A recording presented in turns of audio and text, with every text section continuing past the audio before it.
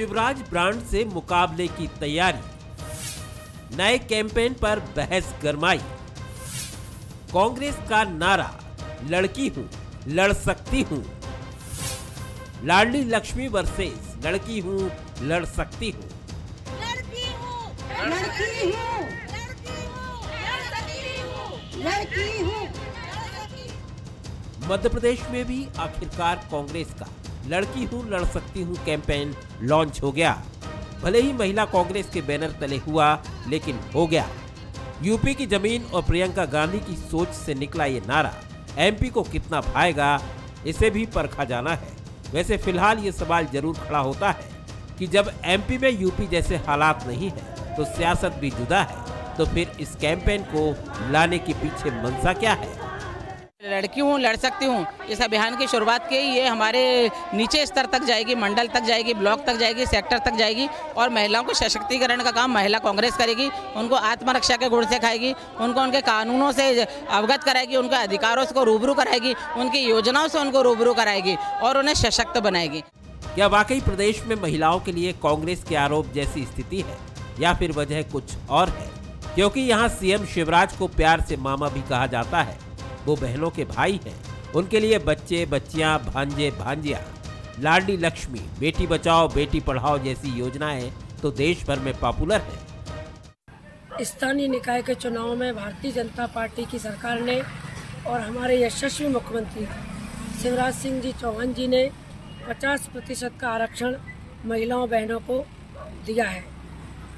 वो बेटे बेटियों के मामा हैं हम बहनों के भाई हैं और भारतीय जनता पार्टी की सरकार माताओं बहनों के स्वाभिमान, सम्मान और आत्मरक्षा के लिए निरंतर कार्य करती है।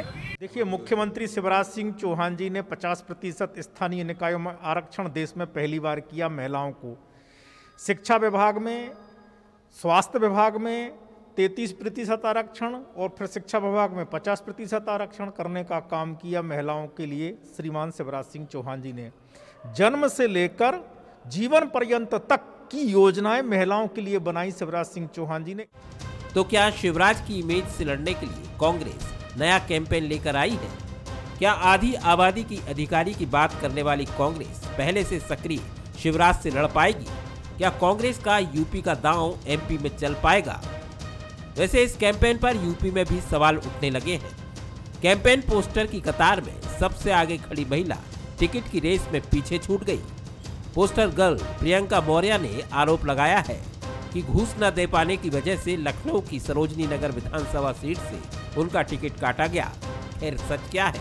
ये भी पक्के तौर पर कहना मुश्किल है, क्योंकि यूपी में चुनाव है। हर कोई अपनी अपनी नाव में सवार है। नमस्कार, मैं हूँ शरद द्विवेदी और हमारा आज का मुद्दा है कांग्रेस की लाडली लक्ष्मी। तो बड़ा सवाल ये है कि क्या कांग्रेस लाडली लक्ष्मी के मुकाबिल यानी उसके बरक्स उसके सामने, अपनी ये योजना जो उत्तर प्रदेश में वो लेकर आई, लड़की हूँ, लड़ सकती हूँ। और लड़की हूँ, लड़ सकती हूँ एक नारा है। और इस नारे को ताकत तब मिलेगी जब चुनाव के नतीजे सामने होंगे। और असली ताकत तब मिलेगी जब सरपंच पति और विधायक पति जैसे संबोधन पीछे छूटेंगे। वो राजनीतिक दलों का काम नहीं है, क्योंकि खुद राजनीतिक दलों से आने वाले चेहरे अपनी पत्नी को सिर्फ़ एक चेहरा बनाकर, अपनी बहन को सिर्फ़ एक चेहरा बनाकर, अपनी बेटी को सिर्फ़ एक चेहरा बनाकर राजनीति में उतार तो देते हैं, लेकिन अपने लंबे अनुभव का हवाला देकर यही कहते हैं कि अब तुम घर में बैठो, काम हम सब देखेंगे।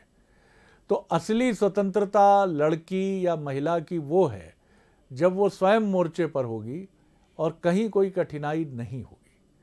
तो ये तो एक लंबी लड़ाई की बात है।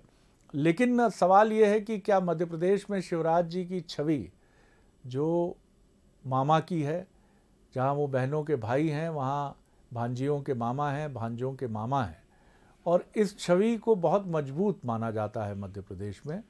और शिवराज जी अपने आरंभिक काल से मुख्यमंत्री के तौर पर इस छवि के साथ आगे बढ़े हैं। जब वो प्रदेश बीजेपी के अध्यक्ष थे, तब भी समाज के वंचित वर्ग को की लड़कियों को कन्यादान और उनके विवाह की प्रक्रिया से वो जुड़े थे। विदिशा में निराश्रित बच्चियों का एक पूरा करीब करीब दस ग्यारह से ज़्यादा बच्चियाँ ऐसी रहीं जिनके जीवन, लालन पालन और उनके विवाह का दायित्व तो शिवराज जी ने लिया है। तो इसके मुकाबले ये योजना कितनी खड़ी होगी? फिर मध्य प्रदेश में कांग्रेस को उत्तर प्रदेश की तरह क्या कोई प्रियंका जी जैसा चेहरा रहेगा जो ये बताएगा कि यहाँ इलेक्शन की कमान में इनकी बहुत अहम भूमिका है? और ये खुद निर्णय कर रही हैं और फिर टिकट्स कितने आप देते हैं? कई बड़े सवाल हैं। आज हम इसी पर बात करेंगे। हमारे साथ हैं भोपाल स्टूडियो में स्वदेश शर्मा जी कांग्रेस के वरिष्ठ नेता और प्रवक्ता। बहुत स्वागत करता हूँ स्वदेश जी। डॉक्टर दुर्गेश केशवानी हैं बीजेपी के युवा नेता प्रवक्ता उनका बहुत स्वागत करता हूँ। चैतन्य भट्ट जी हैं वरिष्ठ पत्रकार और राजनीतिक विश्लेषक जबलपुर से हमारे साथ जुड़ रहे हैं। भट्ट साहब पहला सवाल आपसे ही लेकर हम आगे बढ़ते हैं। किस तरह देखते हैं आप, लड़की हूँ लड़ सकती हूँ, और शिवराज जी की मज़बूत जो छवि है मध्य प्रदेश में, जहाँ वो एक तरह से कहें कि आधी आबादी के बीच में एक लोकप्रिय नेता है। उत्तर प्रदेश में लॉ एंड ऑर्डर एक बड़ा मसला है, और वहाँ महिलाओं का घर से सुरक्षित बाहर निकलना, और हालाँकि योगी जी ने बहुत अच्छा काम किया है इसमें, और उसकी सराहना भी हुई है। लेकिन फिर भी उत्तर प्रदेश में लॉ एंड ऑर्डर और महिलाओं की सुरक्षा एक बड़ा मसला आरंभ से रहा है। तो मध्य प्रदेश और उत्तर प्रदेश क्या ये कहाँ ठहरता है ये मसला? जरा आपकी रिएक्शन जी। जी। नहीं, देखिए शरद जी, हर पॉलिटिकल पार्टी चुनाव के आसपास अपनी स्ट्रेटजी बनाती है कि उसको किस आधार पर मतदाताओं के पास जाना है। उत्तर प्रदेश का चुनाव अभी सामने है। ज़ाहिर सी बात है कि प्रियंका गांधी उसका पूरी बागडोर संभाले हुए हैं और मैं लड़की हूँ, लड़ सकती हूँ, ये जो एक नारा दिया है। और इसके अलावा जो उन्होंने वादा किया था कि हम 40 फ़ीसदी महिलाओं को टिकट देंगे, वो वादा उन्होंने अभी पूरा किया है। 125 में से 40 फ़ीसदी जो टिकटें हैं, वो महिलाओं को दी हैं। उसमें बहुत सी ऐसी महिलाएँ हैं जो कहीं ना कहीं अन्याय से पीड़ित रही हों या उनका शोषण किया गया हो। या उनके ऊपर ज़बरदस्ती के मामले लगा दिए गए हों। तो ये एक तरीका तो है लोगों को अपनी तरफ़ लाने का, क्योंकि महिलाओं के प्रति अभी भी ये समाज जो है वो पुरुष वर्चस्व समाज माना जाता है। महिलाओं को उनके अधिकार और उनकी जो वास्तविक अधिकार होता है, उससे उनको वंचित रखा गया है, चाहे वो कोई भी प्रदेश हो। राजनीति में भी आप देखिए कि तैंतीस परसेंट आरक्षण की बात बहुत लंबे समय से चल रही है। सभी पार्टियाँ कहती हैं तैंतीस प्रतिशत आरक्षण देंगे, लेकिन अभी वो उसमें कुछ हो नहीं पाया। आप मध्य प्रदेश विधानसभा में भी देख लीजिए, बहुत कम महिलाएँ हैं। तो मुझे लगता है कि जो प्रियंका गांधी ने जो एक कैंपेन चलाया है, उसका असर मध्य प्रदेश में कितना पड़ेगा, ये तो अभी अभी एकदम से नहीं बताया जा सकता, लेकिन इससे एक ऊर्जा ज़रूर आई है मध्य प्रदेश में। मध्य प्रदेश में अभी आप देखिए कि आज हनुमान चालीसा का पाठ किया गया, कल भी सुंदरकांड का पाठ महिला कांग्रेस द्वारा किया जा रहा है, जिस पर भी काफ़ी विवाद की स्थिति बनी थी। लेकिन एक जनता, जो महिलाएँ हैं कांग्रेस से जुड़ी हुई, या दीगर भी महिलाएँ हैं, उनको ये लगने लगा है कि अब हमारे पीछे कोई ना कोई ऐसा एक बड़ी नेत्री है, जो हमको हमारे अधिकार दिलाने के लिए प्रयत्नशील है। तो उनको जैसा कि महिला कांग्रेस भी बोल रही है कि लड़की हूँ लड़ लड़ सकती हूँ कि इसका ये मतलब नहीं है कि आप लड़की तलवार लेके बाहर निकल जाए? हम्म, हम्म। उसके पीछे उद्देश्य ये है कि उनको जागरूक करना है। जी जी जागरूक करना जी, है ये उद्देश्य है। मैं आऊँगा इस पर कि किस तरह से ये पॉलिटिकली स्टैंड कैसे होगा? क्योंकि आपको कोई भी मूवमेंट आप खड़ा करते हैं तो उसके पीछे कुछ चेहरे बड़े अहम हो जाते हैं। जैसे उत्तर प्रदेश में अगर राहुल गांधी ये योजना टिकट की लॉन्च करते तो शायद उतना प्रभाव नहीं होता। लेकिन प्रियंका गांधी, जो कि उत्तर प्रदेश में एक बड़ा चेहरा है पार्टी के लिए, और चूँकि खुद भी महिला हैं तो वो जब इस कैंपेन को लॉन्च करती हैं तो एक बड़ी बात महत्वपूर्ण हो जाती है। एक चेहरा महत्वपूर्ण होता है। एक ऐसा चेहरा जो पूरे मध्य प्रदेश में जनता के बीच में भी एक चेहरा हो। स्वदेश जी, ये चुनौती मध्य प्रदेश में रहेगी चेहरे की मैं बात कर रहा हूँ। कैंपेन आपका बहुत अच्छा है। लड़की हूँ लड़ सकती हूँ बड़ा ही अट्रैक्टिव स्लोगन है और मंशा भी उत्तर प्रदेश में जो आपकी पार्टी ने दर्शाई है वो बहुत अच्छी है। मध्य प्रदेश में कमलनाथ जी कहते हैं पीसीसी में हम बात करेंगे तब आगे बढ़ेंगे। लेकिन आ, एक चेहरा जो मध्य प्रदेश में चाहिए एक बड़ा चमकता हुआ किसी आ, जिसकी पहुँच पूरे मध्य प्रदेश में हो ऐसा कोई चेहरा आपके पास क्या मध्य प्रदेश में है? सरद जी सबसे पहले तो मैं बंसल न्यूज़ के दर्शकों को बता देना चाहता हूँ कि आपको धन्यवाद देता हूँ कि आपने आज महिला सशक्तिकरण के ऐसे विषय पर चर्चा करने के लिए हम सबको आमंत्रित किया। आपको बहुत बहुत शुभकामनाएँ बधाइयाँ। अब बात करते हैं इस बात की कि महिला सशक्तिकरण के लिए कांग्रेस ने हमेशा काम किया है। अगर पहला देश का प्रधानमंत्री दिया इंदिरा जी बनी तो कांग्रेस ने दिया। राष्ट्रपति की बात करें तो कांग्रेस ने दिया। कांग्रेस ने महिलाओं को मताधिकार का प्रयोग, मताधिकार का अधिकार सबसे पहले कांग्रेस ने दिया। कांग्रेस ने एक ऐसा कानून भी बनाया इस दौर में, जब महिला सुरक्षित नहीं दिख रही है तो एक ऐसा कानून बना के तैयार किया निर्भया जैसा, जिसको अगर लागू कर दिया जाए ढंग से, उस पर अमल कर लिया जाए तो व्यक्ति सजा के तख्ते तक पहुँच जाएगा। फांसी के तख्ते तक पहुँच जाएगा। तो उसमें प्रियंका गांधी जी ने जो एक नारा दिया, जो एक कैंपेन चलाया, ये कैंपेन नहीं एक्चुअल में ये एक मजबूती देने का एक प्लेटफॉर्म है, एक तैयारी है। जैसा आपने अपनी, उसमें बताया, अभी ये स्क्रिप्ट में मैं सुन रहा था, आपने जब कहा कि, महिला का पति सरपंच का पति विधायक का पति ये सब ना कहलाया जाए। तो प्रतिभाओं को आगे लाना उनको सशक्त बनाना अगर वो राजनीति में है तो राजनीति में उनको उनका उत्थान कराए जाने के लिए हर प्लेटफॉर्म को देना। किसी भी तरह की प्रतिस्पर्धाएँ हो उन्हें आयोजन करना और इसको आज ही क्यों चुना है? आज हम देख रहे हैं कि दक्षिण दक्षिण के सूर्य उत्तर में प्रवेश कर रहे हैं। दक्षिण नेगेटिविटी लाता है और उत्तर सकारात्मक ऊर्जा से लवरेज है। सकारात्मक विचारधारा को ताकत देता है। निश्चित रूप से आज उनका किया गया ये कार्य और पवन पुत्र हनुमान जी का हनुमान चालीसा शुरू करने का अर्थ ये है। हनुमान जी कैसे है कि इन्होंने लंका का दहन कर दिया था। तो हनुमान जी का स्मरण करके इसको शुरू किया है। तो मध्य प्रदेश में होने वाले महिलाओं के अत्याचार के लिए ये लड़कियाँ लड़की हूँ लड़ सकती हूँ ये सक्षम होंगी ताकतवर होंगी और निश्चित रूप से बदलाव की ओर मध्य प्रदेश होगा। एक दोनों से आप दोनों से सवाल है। आपके परिवार में कितनी महिलाएँ स्वदेश जी राजनीति में हैं? अभी बहु राजनीति में आने के लिए आ तो नहीं उसका प्रयास भी है डॉक्टर भी है पेशे से वो छोटे वाले बेटे की पत्नी और वो प्रयास भी कर रही है। लेकिन अब उसकी शुरुआत है अभी। अभी कहा नहीं जा सकता कि आगे आपकी. अब तक की राजनीति में ये पहला चेहरा हो सकती हैं आपकी बहू जिनके बारे में आप कह रहे हैं। देखो ये तो चेहरा होना ना होना ये हम पर निर्भर नहीं करता। हम समाज में फिर भी उनकी संभावना इसके पहले तो संभावना भी नहीं थी। उसके पहले परिवार में महिला कोई राजनीति में नहीं थी। जी कारण जान सकता हूँ सर। कारण यही कि सबसे बड़ी बात ये रही जैसे पुरुष प्रधान मान लेते हैं हम अपने देश को बस और महिला मिल गया। आपके यहाँ कौन है राजनीति में दुर्गेश जी महिला? देखिए शरद जी हमारे यहाँ कोई राजनीति में कोई भी महिला क्यों सर? किसी की ये रुचि का विषय है कि किसको सेवा को माध्यम चुनना है किसका क्या है तो निश्चित रूप से कल अगर, अगर आपकी अगर, जीवन जीवन संगिनी की इच्छा हुई कि वो राजनीति में आए और उनसे ये कहे वो आपसे कि अगर आपको कहीं से जिस भी पद के लिए पार्टी चुन रही है तो वो कहें कि आप मेरा नाम बढ़ा दीजिए आप पीछे हो जाएँ तो आप हो जाएँगे। देखिए हमारा संगठन है ना वो सबको निश्चित रूप से प्रत्येक कार्यकर्ता का आकलन करता है। खैर सर मुझे उत्तर अगर, मिल चुका अगर, है। अगर संगठन मैं, मैं आगे बढ़ता हूँ। आप मुद्दे पे आ जाइए। मैं समझ गया हूँ जो मैं बात कम्युनिकेट करना चाह रहा था दर्शकों तक भी पहुँच गई होगी। जी तो लड़की हूँ लड़ सकती हूँ चाहे वो शरद द्विवेदी जी के घर की हो महिला चाहे वो स्वदेश जी की हो मैं दोनों मित्रों की तरफ़ ही उंगली नहीं उठाऊँगा। उंगली मेरी तरफ़ भी है साहब वो बेहचक मेरी तरफ़ भी है कि ये सवाल मुझसे भी पूछा जाना चाहिए कि आपके परिवार में कोई सशक्तिकरण के पद पर आपने अपने को पीछे रखकर महिला को आगे किया है क्या? तो कितने जवाब मिलेंगे ये जान सकते हैं। दुर्गेश जी मुद्दे पे आइए। जी बताइए। लड़की हूँ लड़ सकती हूँ। यूपी में प्रियंका गांधी जी ने ये कैंपेन स्टार्ट किया। हम्म। और जैसा जो पोस्टर ही बयां कर रहा है कि जो पोस्टर में लड़की है उसी का ही टिकट काट दिया गया है। तो हम्म। ये निश्चित रूप से फेलुअर ही है जो सामने आया है।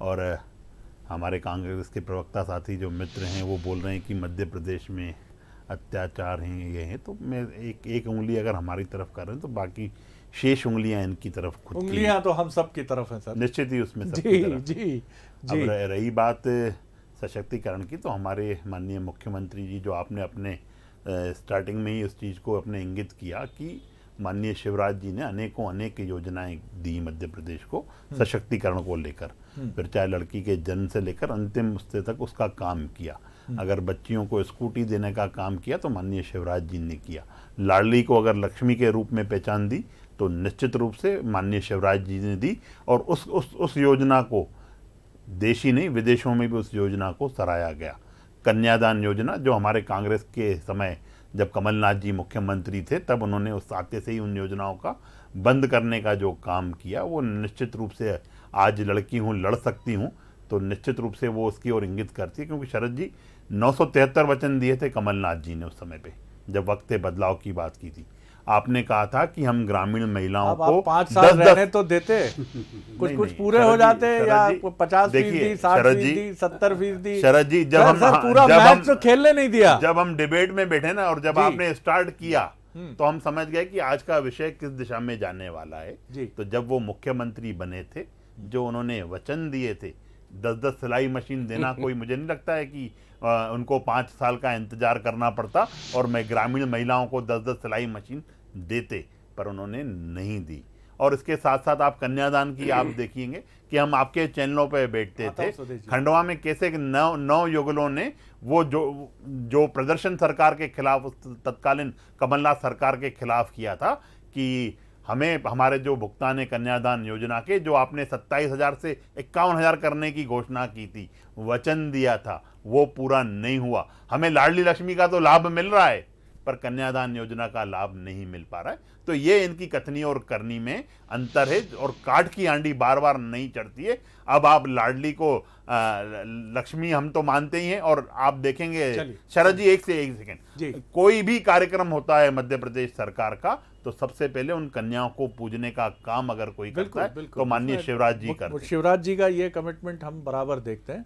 सुरेश जी कुछ सेकंड्स में अपनी बात कहिए अ, देखिए मैं दूसरा राउंड जल्दी सब- से पूरा सबसे पहली बात लाडली लक्ष्मी योजना का पैसा दूसरे मदों में खर्च हो चुका है। आरटीआई लगाने वाले आर्टिस्ट को आज तक जवाब नहीं मिला। सुन जाइए पूरी। और कन्यादान देखिए आप बीच में इंटरप्ट कर रहे हैं। तो मैंने बिल्कुल नहीं बोला। बोलेंगे तो मैं निश्चित रूप से तो गलत तो आपने बहुत सारा बोला कन्यादान योजना में आप अट्ठाईस हज़ार दिया करते थे हमने क्या हज़ार किए? आपने क्या किया? आप 2018 का अपना दृष्टि पत्र उठा लीजिए। आपने घोषणा की थी 2018 में शरद जी विद्वान पत्रकारों को सब याद होगा। मैं मैं समझता हूँ इंटर पास किसी भी छात्र छात्रा को स्कूटी देंगे तब तब पचहत्तर परसेंट कोई आएगा। साठ परसेंट आता तो आप उसको लैपटॉप देते। अगर महिलाओं को निःशुल्क यात्रा कराते किसानों को आप 500 करोड़ का अलग से पैकेज देते। आपने कहा था कि गैस पर हम सौ रुपए की सब्सिडी अलग से देंगे। कहाँ गई वो सब? चलिए मैं लूँगा जवाब इसका लूँगा। आप तैयारी रखिएगा दुर्गेश जी मैं आता हूँ आपकी तरफ़। चैतन्य जी सुनी हमने बातें दोनों ही पार्टियों की। निश्चित तौर पर मध्य प्रदेश में शिवराज जी की छवि एक ऐसे राजनेता की है जो आ, एक आधी आबादी में जिनका काफ़ी इस मायने में प्रभाव है कि वो एक संवेदी चेहरे के साथ सामने आते हैं। और कांग्रेस को निश्चित तौर पर अगर उत्तर प्रदेश की तरह मध्य प्रदेश में भी आधी आबादी तक अपनी पैठ करनी है तो उसको कुछ योजनाओं के बारे में भी बहुत गंभीरता से सोचना होगा और राजनीति में प्रतिनिधित्व का अवसर भी उन महिलाओं को देना होगा जो समाज के अलग अलग वर्गों से आती हैं। आप इसके मुकाबले कांग्रेस की रणनीति को कैसे देखते हैं? क्योंकि बीजेपी के मुकाबले कांग्रेस में इस टक्कर का कोई जो आधी आबादी के बीच में गहरा प्रभाव रखता हो, ऐसा कोई राजनेता क्या आपको दृष्टिमान होता है, नज़र आता है? जी। शरद जी इसमें कोई संदेह नहीं है कि शिवराज सिंह सर जो शिवराज सिंह चौहान हैं वो जनता से कनेक्ट है। और लंबे समय से चूँकि सत्ता में है करीब पंद्रह सत्रह साल से सत्ता में हैं तो जब सत्ता में होता है आदमी तो तरह तरह की योजनाएँ सरकारी खर्च पे शुरू कर सकता है। और उन्होंने की भी चाहे वो लाडली लक्ष्मी योजना हो चाहे कन्यादान योजना हो और उसका फ़ायदा लोगों को मिला है बच्चियों को मिला है जिनका जन्म हुआ उनको एफडी उनके नाम पे की गई। तो इसमें तो कोई संदेह नहीं है कि शिवराज सिंह चौहान ने जो जो ये योजनाएँ बनाई। अब वो ठीक है पॉलिटिकल दृष्टि से हो या किसी भी अन्य दृष्टि से हो लेकिन उसका लाभ मिला। दूसरी बात जो सबसे महत्वपूर्ण आपने बताई है कि आपके पास मध्य प्रदेश में ऐसा कौन सा चेहरा है? उत्तर प्रदेश में तो ठीक है आपने कांग्रेस ने प्रियंका गांधी का एक चेहरा बड़ा चेहरा है काफ़ी लोकप्रिय भी हैं वो लेकिन मध्य प्रदेश में निश्चित तौर पे चेहरों की कमी है कांग्रेस के पास। आप देखिए कि कमलनाथ को लेके वन मैन शो मुझे लगता है कि कांग्रेस में तो वन मैन शो चल रहा है।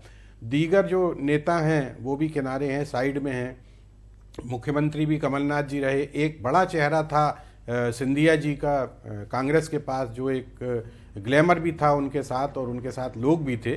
लेकिन वो दुर्भाग्यवश अब वो बाहर चले गए हैं कांग्रेस की अपनी अंदरूनी लड़ाई में। तो मुझे लगता है कि चेहरे की कमी तो है अब चेहरा कौन सा लाते हैं ये? कहाँ से लाते हैं? ये देखना बड़ा दिलचस्प होगा, क्योंकि अभी तो दूर दूर तक ऐसा कोई चेहरा नज़र नहीं आता जो इतना बड़ा प्रभाव रखता हो पूरे मध्य प्रदेश में। और दूसरी बात यह है कि जो कमलनाथ जी में और शिवराज सिंह जी में जो अंतर है, वो यही अंतर है कि शिवराज सिंह जी का जो कनेक्ट है, कनेक्शन है जनता से, वो कमलनाथ में उसका अभाव है। मुझे तो ऐसा भी बताया जाता है कि जब उनकी सरकार चली गई थी तो बाद में ये भी आदेश, ये भी कहा गया कि वो कहते थे, चलो चलो चलो। अब उसमें कितनी सच्चाई मैं उसमें नहीं जाना चाहता। लेकिन इसमें कोई संदेह नहीं कि आपको एक ऐसा चेहरा ज़रूर ढूंढना पड़ेगा जो प्रदेश की महिलाओं को आकर्षित कर सके, यहाँ के मतदाताओं को आकर्षित कर सके और उसके लिए अब कांग्रेस किस चेहरे को सामने लाती है, ये देखना बड़ा आगे देखना होगा, इसके भविष्य के गर्त में है। हो सकता है कोई ऐसा चेहरा अचानक आ जाए सामने क्योंकि चेहरे पे ही चुनाव लड़े जाते हैं। आप देखिए कि चेहरा मोदी जी का हो या योगी जी का हो ये निश्चित तौर पे चेहरे पे ही चुनाव लड़े जा रहे हैं और उनकी रीति नीतियाँ तो खैर सेकेंडरी हो जाती हैं। चेहरा कौन सा है वो हमें क्या दे सकता है ये बहुत महत्वपूर्ण हो जाता है मतदाता के लिए। तो कांग्रेस के लिए अब ये सबसे बड़ा संकट जो मुझे लगता है वो है चेहरे का। अब वो उस संकट को कैसे दूर करते हैं ये उनका अपना एक स्ट्रेटेजी हो सकती है।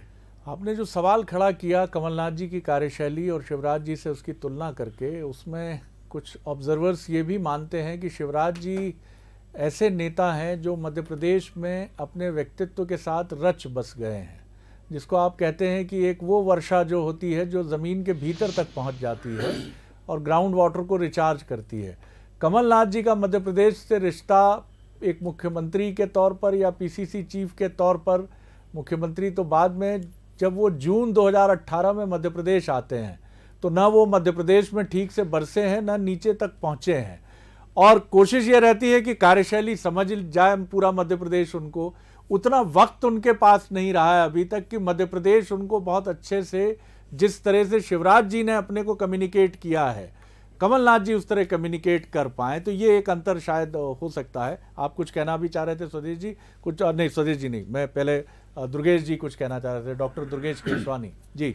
देखिए, शरद जी, जैसा भट्ट साहब ने कहा कि चेहरा कांग्रेस के पास कोई नहीं है तो निश्चित रूप से कोई महिला में तो कोई नेत्री नहीं है इनके पास, जो जो इस चीज़ को आगे बढ़ा पाए और साथ ही साथ जो इनके पूर्व मुख्यमंत्री कमलनाथ जी हैं, जब वो मंच से आदि आबादी का अपमान करते हैं आइटम जैसे शब्दों का इस्तेमाल करते हैं तो निश्चित रूप से वो जो आधी आदि आबादी वो आधी आदि आबादी है उसको नहीं मैं बच रहा हूँ पर पर जो ये जो जो इन बातों को लेकर द्योतक है अगर लड़की हूँ लड़ सकती दिन पहले भी कांग्रेस के एक वरिष्ठ नेता को लेकर इस तरह की बातें हो चुकी थी उस समय मैं माफ़ कीजिएगा रोक नहीं पाया था। नहीं नहीं मैं लेकिन आज उस अपराध बोध से संचालित होकर मैं ये बात निवेदन कर रहा हूँ। चलिए मैं मैं इस चीज़ से बच रहा हूँ पर दिग्विजय सिंह जी को भी लोग भूल नहीं पाएँगे।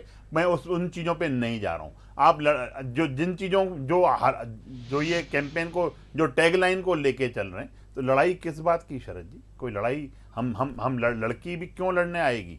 वो निश्चित रूप से अपने अधिकारों की अगर बात करने वाली बात है तो वो अधिकार हमारी सरकार ने दिए हैं। आप आप देखेंगे, शिवराज जी जब जब मुख्यमंत्री नहीं थे तो भी उन्होंने हज़ारों ऐसी ऐसी कन्याओं का कन्यादान किया था। हर साल हम लोग उनके उनके कार्यक्रमों में वहाँ पे शामिल होते थे। बड़े बड़े कार्यक्रमों के माध्यम से हज़ारों की तादाद में उन्होंने कन्यादान के काम किए तो निश्चित रूप से पुण्य पुण्य के काम है उन्होंने उस पुण्याई में जाके देखा कन्याओं को पूज के देखा। और आज भी हमारे कोई भी कार्यक्रम होते हैं वो उन कन्याओं की पूजा से ही शुरू होते हैं। एक क्विक रिएक्शन आपका फिर मैं चैतन्य भट्ट साहब की रिएक्शन दूँगा। जी। दो तरह की बातें होती हैं। शिवराज सिंह जी वाकई एक कलाकार नेता हैं और वे टेलीविज़न के शब्दों का टेलीविज़न कलाकारी जो है, टेलीविज़न के नेता। टेलीविज़न के नेता हैं। मुझे लगता है व्यक्तिगत टीका टिप्पणी से बचे मेरा आग्रह है टेलीविज़न कलाकार कलाकार कलाकार होना नहीं होता। आप ये ये शब्द अपने पास ही रखिए। इस पे मर्यादाओं में रह रहा हूँ तो मैं ऐसी अपेक्षा करूँगा। जी आगे बढ़िए आगे बढ़िए। देखिए जी। तो ये दो तरह के नेता होते हैं एक टेलीविज़न वाले एक विजन वाले। कि ये शिवराज सिंह जी चौहान टेलीविज़न वाले नेता हैं। अगर विजन वाले होते तो ये सत्रह साल क्या अठारह साल अठारह साल चल रहा है इनकी सरकार आता को। हूँ, आता हूँ। और माननीय मुख्यमंत्री तत्कालीन दिग्विजय सिंह जी ने चौदह से बढ़ाकर सत्ताईस परसेंट पिछड़ों को आरक्षण दिया था। अगर जी एक परसेंट एक साल का बढ़ाते तो आज तक सत्रह परसेंट और बढ़ चुका होता। लेकिन उन्होंने कुछ किया नहीं। ये घोषणाएँ कर सकते पर करेंगे कुछ नहीं। एक लड़की नेमावर का पूरा परिवार दस फुट गहरे गड्ढे में गाड़ दिया। न्याय मांगने के लिए वो पैदल चलकर आई। क्या उसको न्याय चलिए, मिल गया चलिए, चलिए। लाडली लक्ष्मी की बात आप करते हो? उसका पैसा आपने चलिए, जल्दी- जल्दी- जल्दी रिएक्शन में मैं चैतन्य जी की तरफ़ चलूँगा। जी। शरद जी ये सिर्फ़ बातें कर रहे हैं। कमलनाथ जी की जो ये अनुभवों की बात कर रहे हैं अगर अनुभवी होते तो निश्चित रूप से काम करके ये तो शिवराज वो सब चीज़ें करके जाते। और विजनरी विजनरी बताने की क्या ज़रूरत चैतन्य जी, कौन सा कंक्लूडिंग विजन रिएक्शन मध्य आपका। प्रदेश को चैतन्य जी। क्या मिला? चैतन्य जी को सुनिए चैतन्य जी को सुनिए। जी चैतन्य जी जी। हम्म, जी।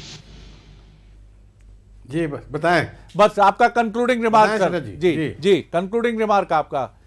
समाप्त करते हुए टिप्पणी। जी।